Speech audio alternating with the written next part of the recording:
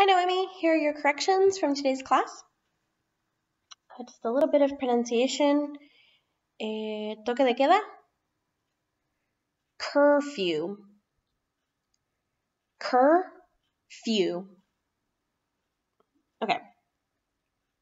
Um, be careful with ages. Um, so, for example, eh, la mamá tiene 43 y los hijos tienen 10 y 9.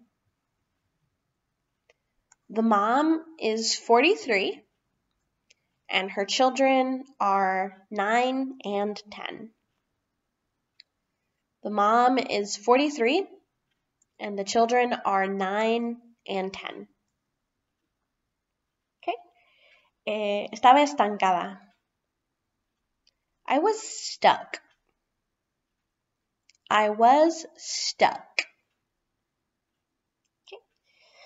Hay una furgoneta eh, desde el hotel al aeropuerto. There's a shuttle from the hotel to the airport. There's a shuttle from the hotel to the airport.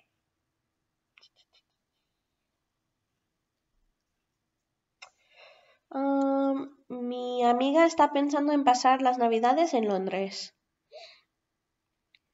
My friend is thinking about spending Christmas in London. My friend is thinking about spending Christmas in London.